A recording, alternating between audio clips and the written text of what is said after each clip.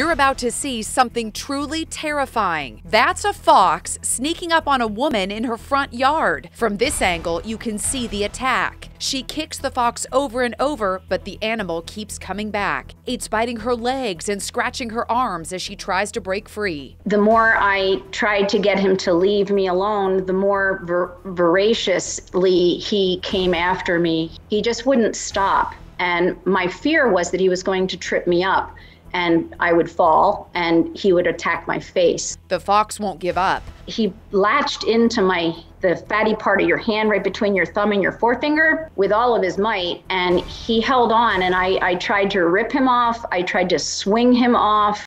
But then her neighbor shows up with a stick, and at last the fox retreats. I will be grateful to him for the rest of my life, and, and I, I just thank God that, that he heard me. Did it ever cross your mind that the fox might have rabies? It did, Megan, after the third or fourth approach from the fox because he was so persistent. Sure enough, the fox was later caught and it tested positive for rabies. Sherri Russo was treated right away, and so far, she says she's showing no signs that she contracted rabies. Rabies is a viral disease that is almost always fatal if not treated immediately. If you get bitten or even scratched, by a rabid animal, you need to go immediately to the doctor. Sherri is going to be fine, but what a traumatic experience. It felt like it was going to last forever.